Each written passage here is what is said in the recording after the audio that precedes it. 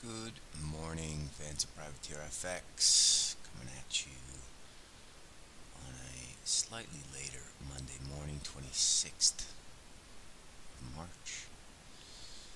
A couple things on my mind. Uh, first of all, the stock market. I uh, hope you guys all got short yesterday heading into that 2660 or Friday. Uh, that was decent. Dropped uh, 80 handles there. Quick 50 into the close. Now we're retracing. Let's just look and see where the where the blood in the water started. It started really at 46. Um, we don't think this is going to get back above 50 today, so somewhere in between 26, 25 and 26.50 you want to restart your shorts. Um, this will break the 200 day moving average, we think, this week at some point.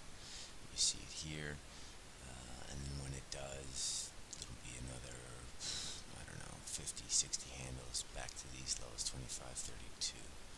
So, bear markets in play. Keep that in mind. Euro's sort of chugging towards the highs here. I really don't know what to do with this. Uh, just want to mention that 88 was the high last week. Really, it gets interesting for me above 124.50. So for now, we're, we're just watching, watching this. Cable also mid-range. Let's just keep in, keep in mind it was 142.20 the highs last week, so there's nothing really to do here at 141.60. Uh, we sit tight. Dollar yen back at 105 we now have divergence on the uh, dailies on the stochastics. I don't have it up here on this chart. Would not surprise me if we traded up to 105.60 today uh, at some point just to screw uh, shorts. The high after the break is 105.28, so there'll be stops above there today. Uh, you could break trade that for pips probably with a tight stop, but the strategy would be buy through 30, start getting short. So take your longs and go short at 50 and 60, and your stop is above 106. Euro sterling has turned. Uh, buying dips on Friday as uh, as was our plan. I wouldn't say it paid, um, but we made some money. It's still sitting here, 87.37. So your 22s and 12s are okay, but it's not like this thing is running away higher. We're looking for a grind higher now, Euro Sterling. Um, and I don't know what we're going to do with that yet. We're, we're just going to kind of watch and, and see how it is. But we'd like this thing higher. The problem is, is, you know, your stop has to be below 86.70. So the risk reward now has to be a little, you have to think about the risk reward a little stronger now. We were hoping for a strong move higher on Friday. We didn't get that. It just kind of sat around, but did make a higher high. Uh, so now we're we're just cautiously watching. We will be tactically long, probably through the highs, which is the safest way to do it.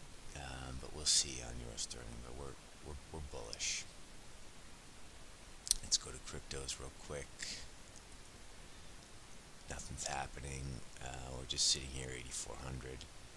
Same strategy if you still own your 7200s, or if you still, if you got some at 7500, we obviously didn't get given the 7200. Um, you know, you should be in the process of selling some of that out, getting a better average. Same play and same strategy in mind. You don't want to buy 7200s now, though. Just go 62, 52, 42. This will, there'll be stops now below 7200 um, get your core longs on, get a better average, and sit tight. We're quite bearish sterling yen. It's been a pain in the ass, um, but trying to find ways to get short sterling yen. Nothing here uh, technically to look at, but our intuition and we think negative news flow is going to be coming out of the UK. So this is something that's on the radar. That's about it. Uh, quiet Asian session and quiet open here. We're running a little bit late, so I'm going to uh, leave you guys with this and get my day officially started. Have a good session. We'll talk to you at New York.